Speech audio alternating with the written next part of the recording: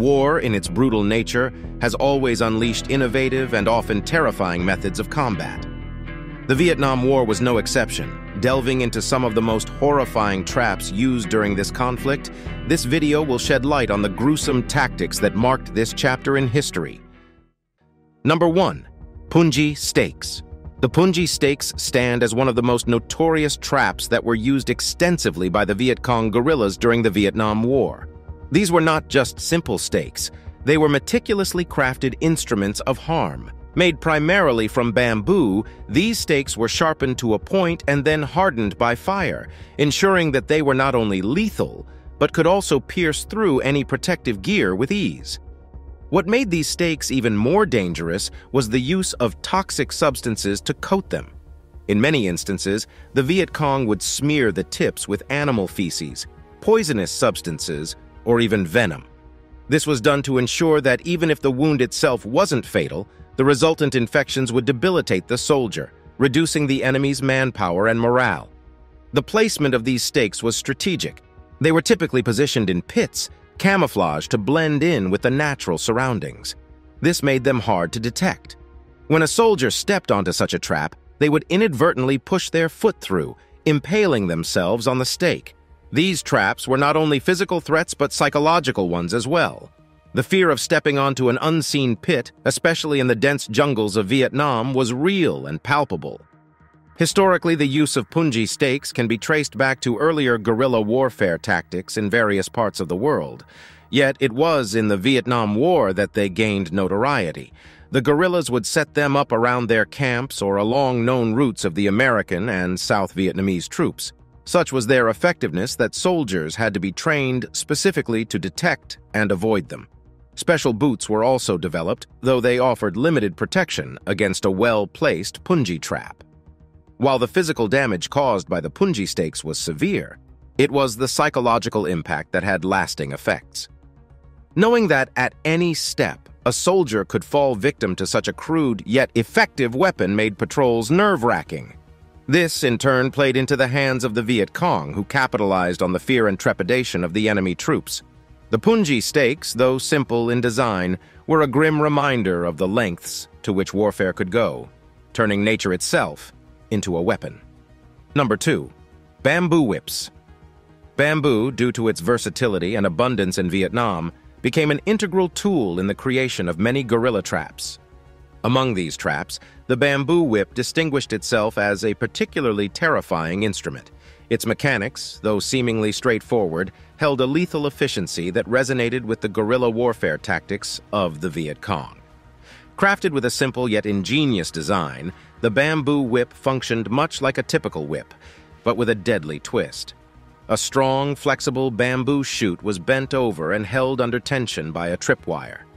Hidden amidst the thick underbrush or along the narrow jungle paths, this trap awaited an unsuspecting foot or hand to brush against its wire.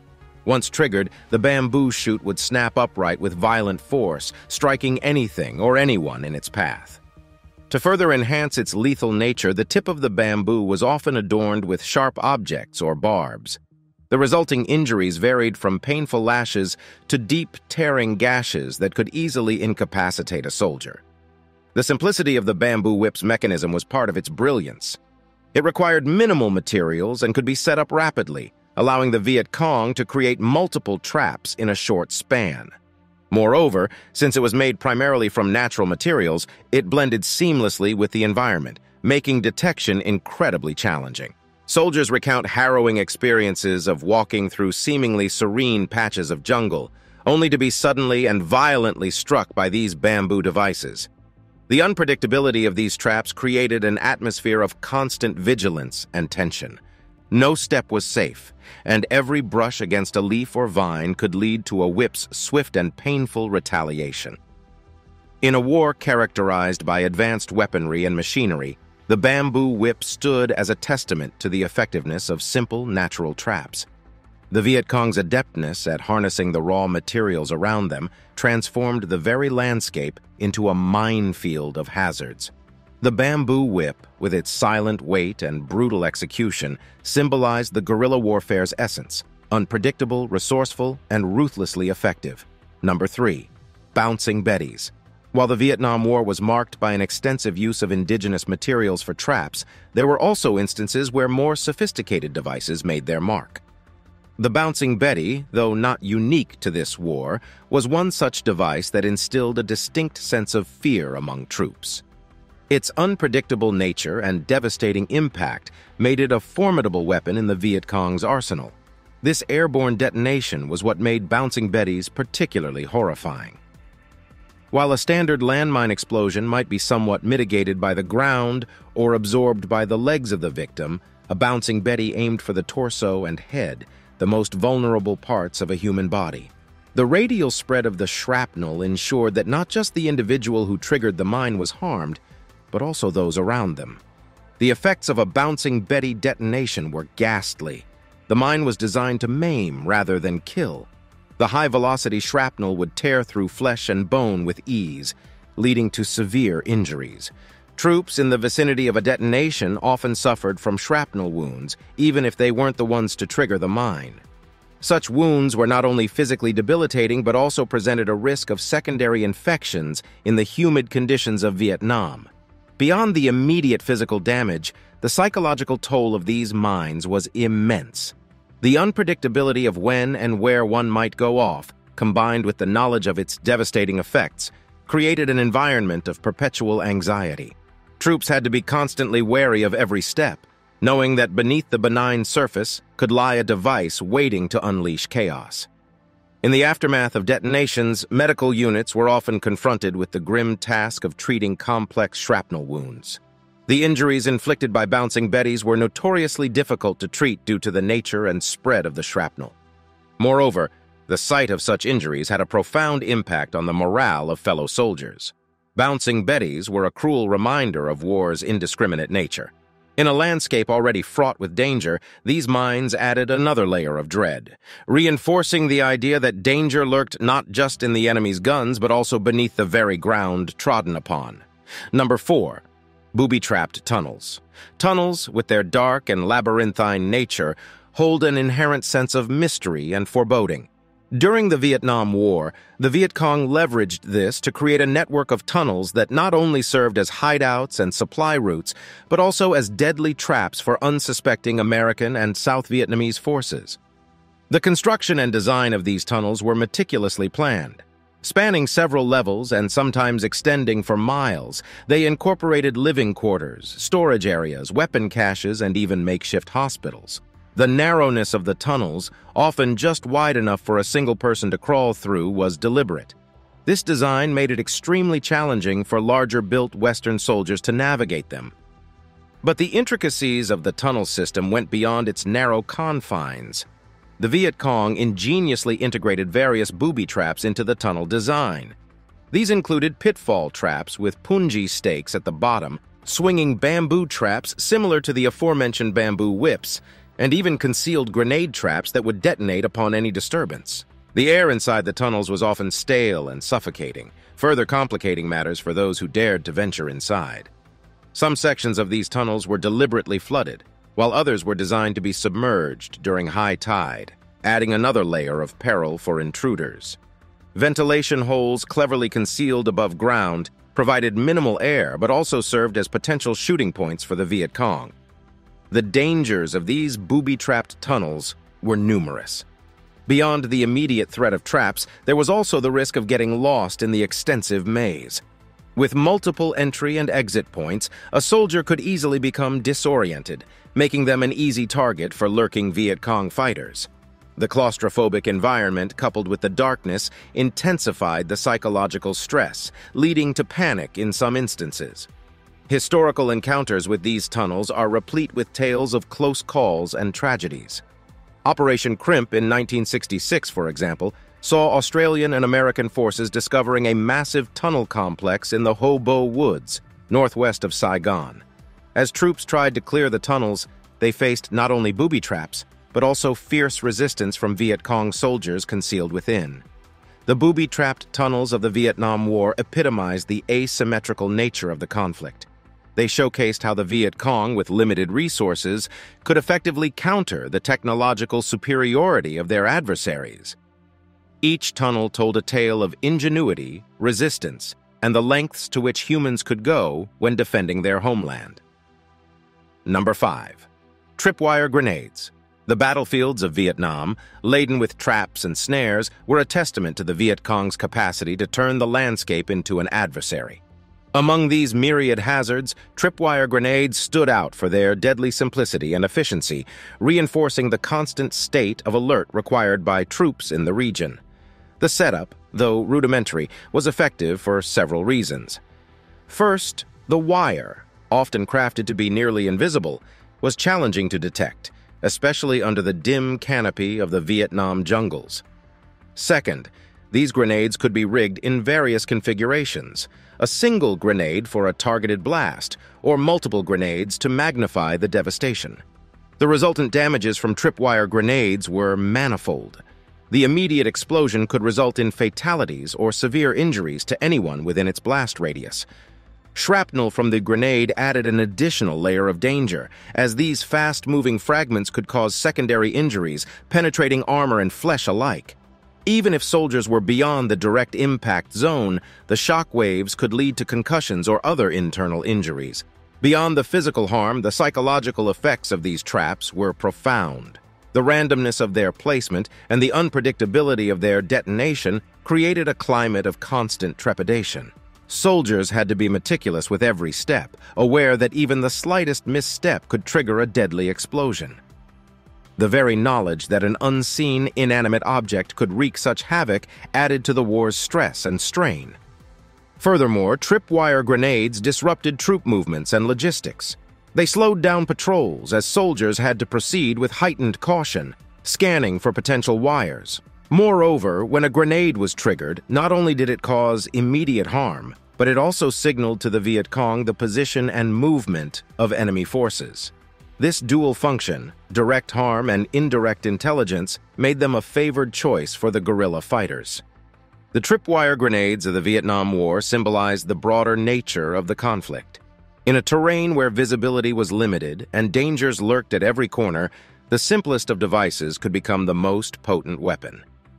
Through ingenuity and adaptation, the Viet Cong managed to turn a handheld weapon into an omnipresent threat, reminding their adversaries that in guerrilla warfare, the environment itself was an ever-present foe. Number 6. Crossbow traps. Crossbows, ancient weapons with a history stretching back over two millennia, found a renewed and deadly purpose during the Vietnam War. While they might seem rudimentary compared to the more modern armaments of the 20th century, in the hands of the Viet Cong, these devices became another tool of terror and destruction, adding to the myriad of booby traps that plagued the jungles of Vietnam. A tripwire was integrated into the mechanism. When an unsuspecting individual triggered this wire, usually by walking into it, the crossbow would release its tension, firing the projectile with considerable force.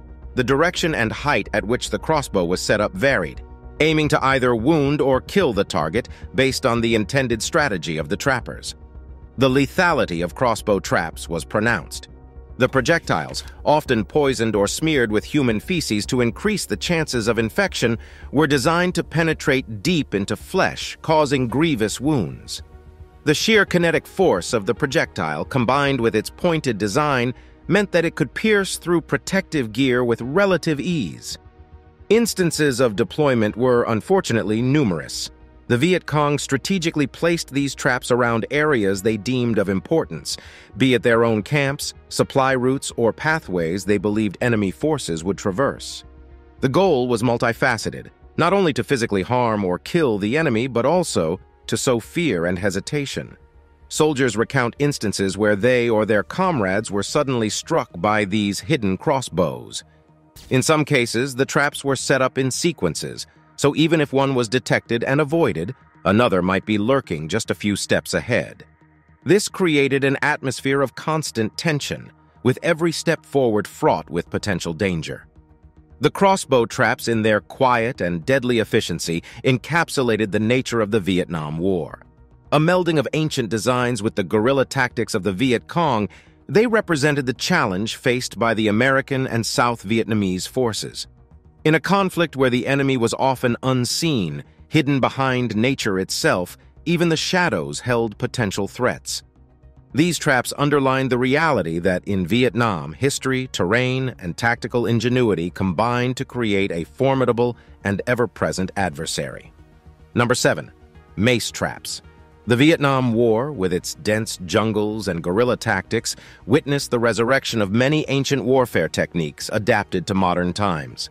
Among them, the mace trap stood as a cruel testament to how even primitive designs could be weaponized to create chaos and inflict severe harm. Drawing inspiration from medieval weapons, the mace trap was both a psychological and physical tool of warfare for the Viet Cong.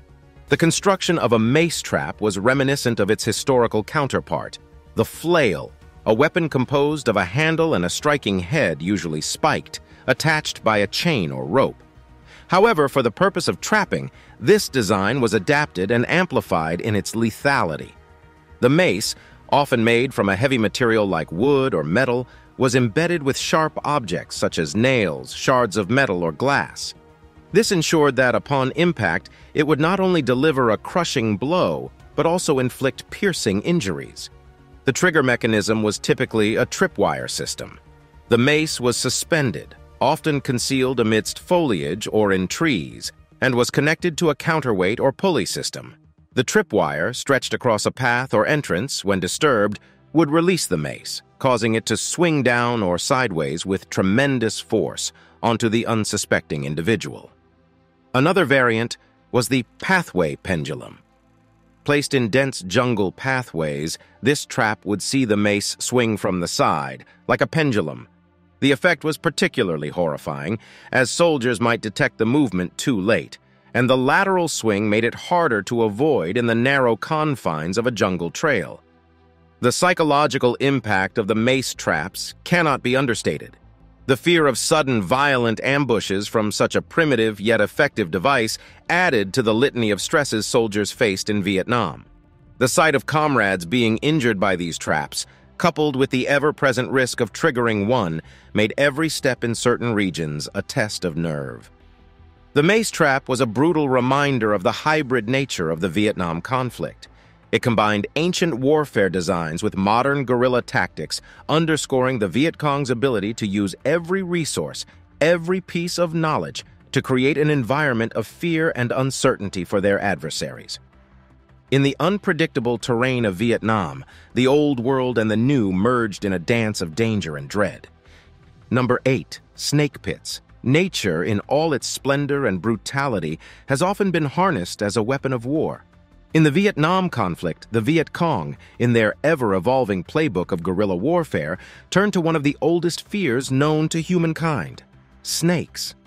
The snake pit trap capitalized on the visceral fear these creatures induce, ensuring that even the bravest soldier would be wary of where they set their foot next. The setup of a snake pit was both devious and simple. First, a hole or pit, typically around 3 to 5 feet deep, was dug into the ground. The dimensions of the pit could vary, but it was generally large enough to accommodate a human. The sides of the pit were often steep, ensuring that anyone who fell in would have difficulty climbing out quickly. At the bottom of these pits, a collection of live, venomous snakes was placed. These could include cobras, kraits, or other venomous species indigenous to the Vietnamese jungles. Over this pit, a fragile cover, often made of leaves, twigs, and other natural materials, was placed to camouflage its presence. To the unsuspecting eye, it looked like any other patch of ground. The trap was often strategically placed along paths or routes that the enemy was likely to traverse. When a soldier stepped onto this camouflage cover, it would give way, plunging them directly into the pit, where the agitated snakes awaited. Even if the victim managed to escape the pit swiftly, the chances of multiple snake bites were high. Physically, the impact of falling into such a pit went beyond snake bites. The fall itself could result in injuries, ranging from sprains and fractures to more severe traumas. Additionally, once bitten, the venom could cause a myriad of symptoms such as blurred vision, difficulty breathing, necrosis of the flesh, and systemic organ failure. The snake pit traps of Vietnam symbolized the lengths to which the Viet Cong went to defend their territory, leveraging both the natural environment and deep-seated human fears. They underscored the complexity of the conflict, where dangers lurked not just from the enemy combatants, but from the very land itself. In a war where psychological warfare was as pivotal as bullets and bombs, the snake pits stood as harrowing reminders of the treacherous terrain of both the mind and the land. Number 9. Spike boards. Amid the vast array of traps devised during the Vietnam War, the spike board holds a deceptively simple yet profoundly malicious place. Often overshadowed by the more elaborate snares and booby traps, the spike board was, in many ways, the epitome of guerrilla warfare's principle to create maximum damage with minimal resources. This trap showcased the Viet Cong's ability to turn everyday materials into lethal weapons. The design of a spike board was elementary. It consisted of a wooden board or a flat, rigid surface into which sharp spikes, often made of bamboo, metal, or wood, were affixed. These spikes were sometimes treated with poison or contaminated to ensure that any injury was not just painful, but also potentially life-threatening due to infections or toxins. The board, with its spikes pointing upwards, was then concealed under a thin layer of foliage, dirt, or other natural materials, making it almost indistinguishable from the surrounding terrain. Deployment of spike boards was strategic. They were often placed in locations where they would be least expected, inside shelters, beneath the mud of rice paddies, along trails, or even in the shallow waters of streams. Essentially, they were set in places where foot traffic, whether by soldiers or local civilians, was anticipated. Soldiers often recounted the horror of witnessing comrades suddenly screaming in pain, only to find their foot impaled on a board. The visual image, coupled with the agonizing pain, had a demoralizing effect on troops. The spike boards, while not as deadly as some of the other traps, played a significant role in the psychological warfare, constantly reminding soldiers of the omnipresent danger lurking beneath their feet. Beyond the physical injuries, there was the added challenge of extracting the foot from the board, which could cause further harm if not done with care. Soldiers had to be trained to not just avoid these traps, but also to assist injured comrades swiftly and efficiently. In the larger context of the Vietnam War, spike boards represented the asymmetric nature of the conflict. The Viet Cong, often lacking in advanced weaponry or resources, turned to the basics, devising traps that were both effective and psychologically tormenting. The spike board, a humble yet horrifying contraption, epitomized this approach, serving as a chilling reminder of the resourcefulness and resilience of the guerrilla fighters. Number 10. Gas traps. The Vietnam War, notorious for its vast array of traps, also bore witness to a sinister evolution in guerrilla warfare, the use of gas traps. Though less prevalent than some of the other physical snares, gas traps were emblematic of the war's shifting boundaries, blurring the lines between traditional combat and biochemical warfare. These traps capitalized on the element of surprise, attacking not only the physical body, but also the respiratory and neurological systems of the unsuspecting victim. Tear gas, CS gas. Originally designed for riot control, CS gas causes severe irritation to the eyes, nose, mouth, and lungs. Exposure leads to tearing, coughing, and difficulty breathing. Mustard gas, a vesicant that causes severe chemical burns on the skin and mucous membranes. Inhalation can lead to severe respiratory distress or even death. Homemade poisonous gases. The Viet Cong occasionally used a combination of locally available toxic substances to create gases that could disorient, incapacitate, or in some cases kill. The implementation of gas traps was strategic and devious. Small containers, often made of glass or fragile plastic, were filled with the gas or the chemicals needed to produce it. These containers were then rigged to break upon triggering, releasing the gas into the air. The triggering mechanisms varied. Tripwires were common, but pressure-sensitive platforms or even manual release by hidden Viet Cong fighters were also used. Gas traps were frequently deployed in enclosed spaces such as tunnels, bunkers, or huts to maximize their effectiveness. In these confined areas, the gas could quickly reach concentrated levels, making it even more deadly and giving victims little chance to escape. One harrowing account spoke of a platoon that entered a seemingly abandoned tunnel system.